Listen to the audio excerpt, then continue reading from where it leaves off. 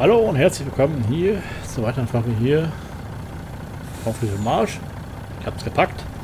Ja, äh, es geht weiter. Wir bringen mal gleich eine Fuhre Hacknutze zum zur Papierfabrik. Da ist nämlich die Produktion schon lange zum Erliegen gekommen. Ich möchte aber ganz gerne, dass es da weitergeht. Vor allen Dingen, weil ich später nachher Hacknüsse brauchen werde für ja, für Papier, zum Beispiel Molkerei zum Beispiel, wird, wird irgendwann mal Neue ist aktuell noch genug da. Dann brauche ich äh, noch Papier für Zementfabrik, ist auch noch genug da, aber irgendwann ist es soweit und dann habe ich hier nur 50.000, äh, ist ein knapp. Deswegen mache ich hier mal ganz kurz eine Lieferung.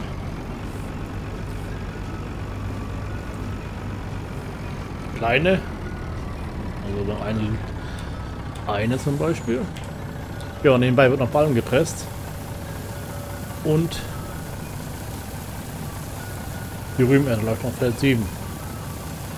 Und dann will ich heute, beziehungsweise in der morgigen Folge, die Rübenroder kaufen. Zwei neue. Denn ich komme auf dem großen Feld mit einem Rüben oder nicht klar. So, jetzt hören die mal was zu tun. Jetzt können die weiterarbeiten.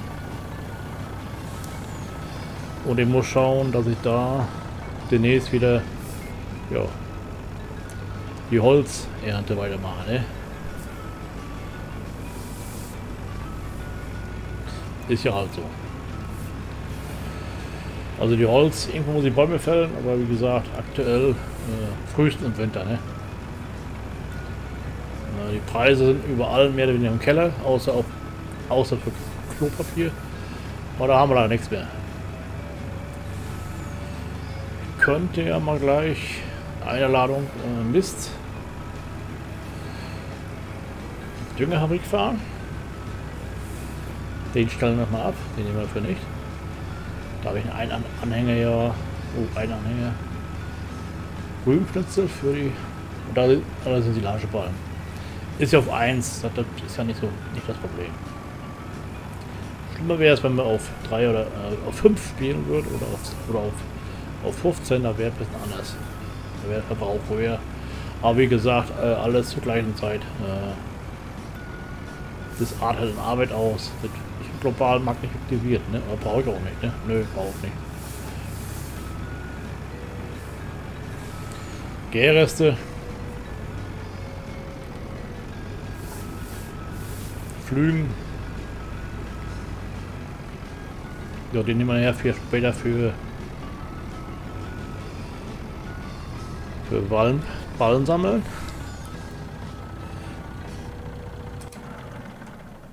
Aber ganz kurz mal gucken hier, ob genügend Mist ist jedenfalls alle. Kompass könnte man auch herbringen, ne?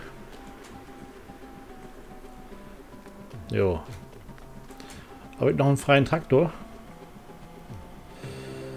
Gärreste wäre nicht ganz so schlimm. Hab noch ja, freien Traktor ist gut.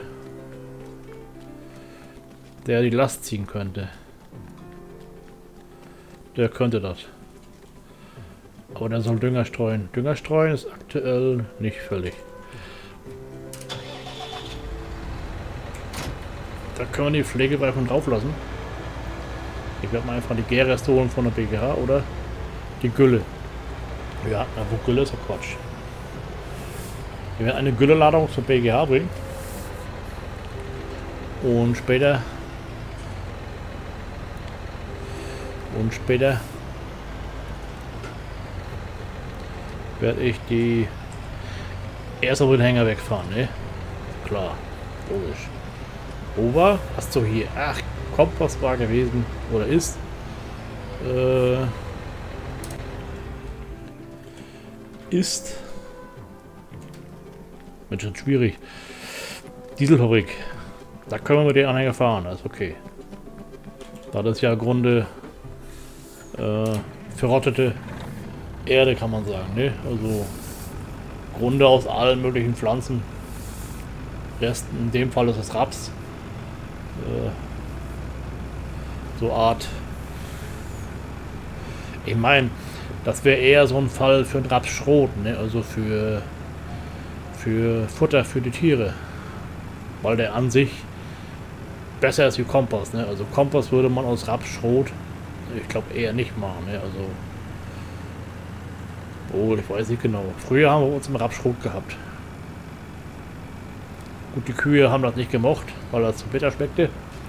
Das haben die gemischt mit den äh, normalen Schrot ne, von Getreide. Schrot ist äh, Prinzip äh, grob zermahlenes Korn, ne, also grob, also richtig äh, grobkörnig. Ne.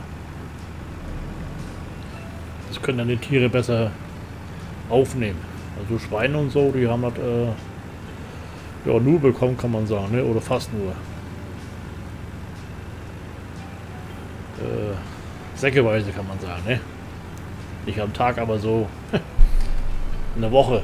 Für uns hatten wir zu Hause äh, ja, elf Schweine, bis, bis zu elf Schweine nebenbei. Und die jede Woche kannst du sagen, ein Zentner, ein, also 50 Kilogramm Sack Schrot. Äh, Hühner auch so 50 Kilo ungefähr, ne? Also ja, das war so ein Neben Nebenerwerb, ne? Hat sich auch gelohnt. Das wurde staatlich mehr, mehr, mehr oder weniger gefördert, ne? Aber wie gesagt, jeder konnte das nicht kaufen. Äh, beziehungsweise war nicht berechtigt dazu, ne? Äh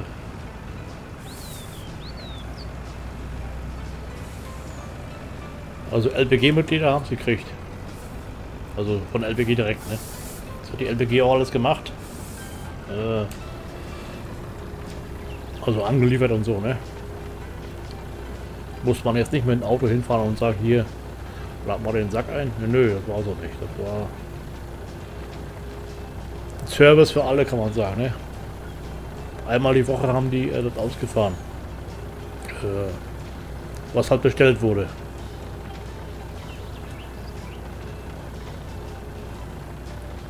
Also das war früher anders. Also das...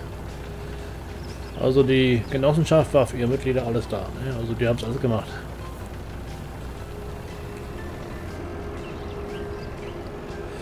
Ich werde nicht alles reinkriegen in der Brauerei. Äh. Aber... Was haben wir hier? Diesel ist... Raps haben wir noch 15.000 drin. Diesel haben wir ganz gut. Lohnt sich sogar.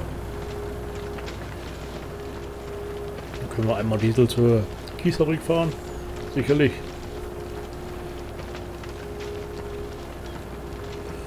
Mal schauen, vielleicht verkaufen wir mal einen Schwung.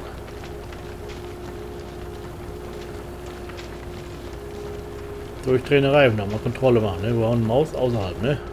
Gerade gesehen. Ja, wieso willst du da umraufern? Das geht das sowieso nicht.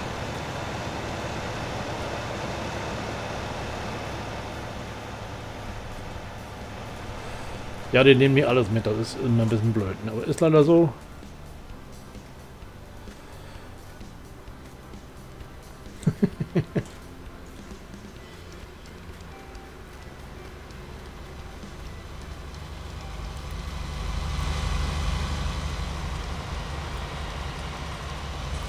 Dann ist er jetzt hier so, das sind diese blöden Parallelspuren, ne?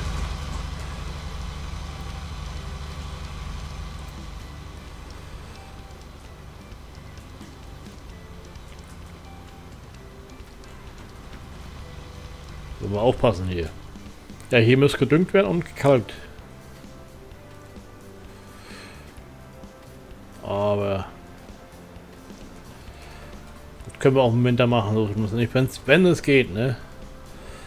Abgeerntet Lehm, 0% Unkraut. Unkraut ist also nicht so tragisch. Ist auch eine Scheinereien.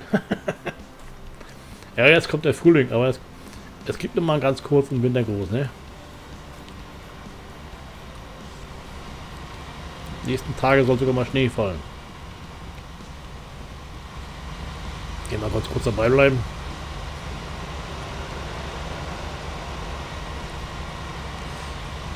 Das sind sie leider nicht in der Lage, das zu erkennen. Ne? Also, dass da Ballen stehen. Ne? Ich meine, gut, die fahren ihren Stuhl, ihren Kurs ab. Ne? Ich gehe jetzt so einen, äh, einen Kursbläser-Modus Ballen sammeln. Ich habe mich damit auch nicht befasst. Äh, muss ich mal schauen, ob das auch alleine funktioniert, ne? Gut, jetzt äh, läuft das mal hier soweit alles. Denn, wo war ich stehen geblieben? Äh, oh, Diesel. Okay, ich wollte den Diesel, äh, den, den Kompost jetzt zur zur Produktion von Dünger hinbringen, ne? Ich würde jetzt persönlich nicht äh, jetzt das verstreuen als Dünger auf dem Feld. Da musste irgendwas geändert werden. Mit dem beschäftige ich mich gar nicht erst. Äh, da stelle ich doch lieber Dünger her und dann ist es für mich leichter. So eine Änderung in der Karte und, und überhaupt irgendwo, ne, das ist für mich ein bisschen Übungssache und er kriegt das jetzt immer nicht hin. Und flach nicht hin. Wegen ein bisschen Dünger fahren, nö. Das lohnt sich jetzt nicht.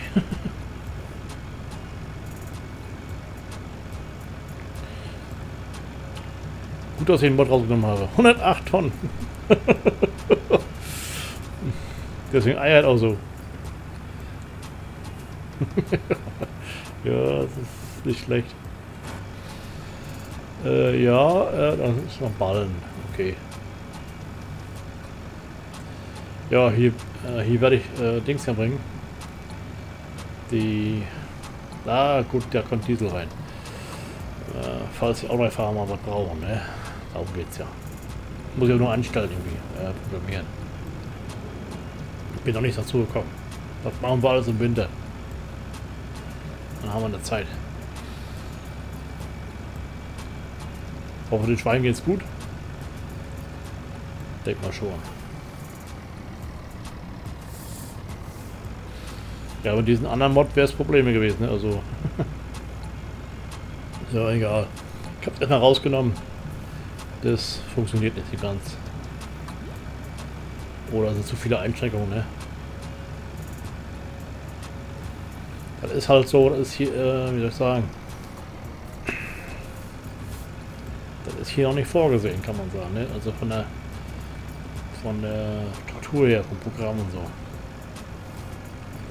Ist leider so.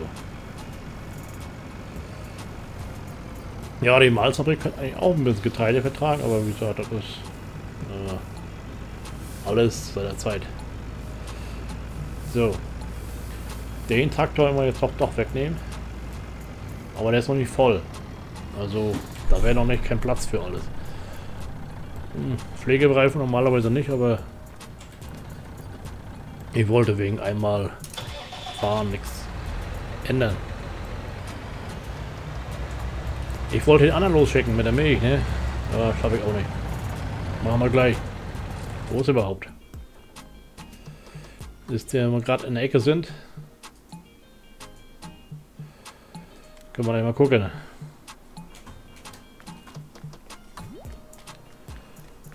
Na, Wasser da? Gleich gucken? Ja, Wasser drin. Wenn der Mähfahrer hier vorne steht, dann können wir gleich losschicken. Also wenn nicht, wollen wir suchen. So für mich da. Hm, wo ist die Milch? Milchfahrer, bist du? Molkerei. Ich habe mir ja zwar vor mal durchgeklickt, aber ich kann nicht sagen, wo er steht. Gut, aber mal gewesen, ne? Ihr klickt mal durch. Entschuldigung.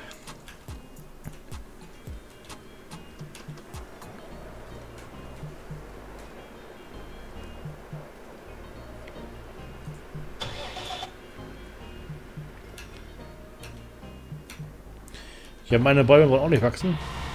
Aber ich bin da gute Dinge. Irgendwann wird schon wachsen. Den können wir losschicken.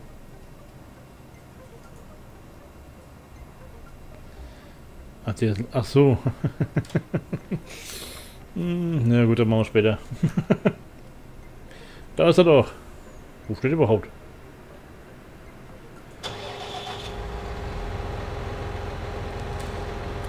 Beladen kalt. Ach ja je. da wird ja nichts, ne? Äh, Milch, Kuhstern, also. Ja, das ist Mist. Das wird auch nichts. Ich muss halt mal wissen. ich wollte schon immer mal sortieren, aber. Jo, aber rückwärts, das ist nicht gut.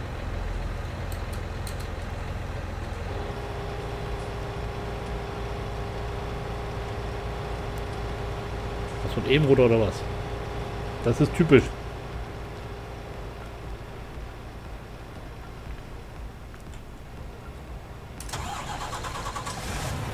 Denkt man Tatra am Wege.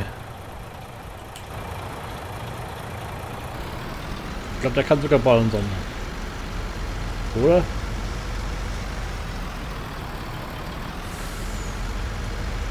Auch noch brauchen wir keine hier. So. Mhm.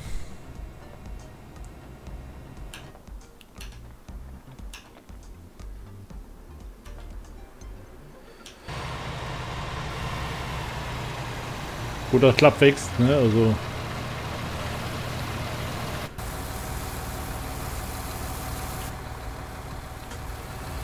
Mal rein, was wir schon hergefahren haben. Bestimmt etliches, ne? So ein Feld geht ja viel runter. Rühm ist ein Viertel voll. Genau. Zucker. Äh, Rühmschnitzel lohnt sich nicht, das ist nur ein Prozent. Den brauchen wir nicht losschicken. So. Okay. Dann. Hof. Aber die Mähfahren ist wichtig. Die Mähfahren ist ganz wichtig, dass die Milch verarbeitet wird. Ne?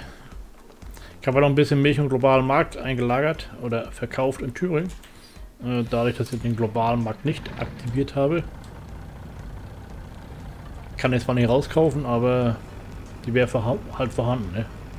So, liebe Schauer, das seid mal heute mal schon mal. Tschüss, ciao, ciao. Werde gerade geblendet von der Sonne. Schön. Nicht schön fürs Spiel. aber ist halt so. Mal tschüss, ciao, ciao und dickes Dankeschön fürs Reinschauen. Ja, vielleicht sehen wir uns mal wieder. Tschüss.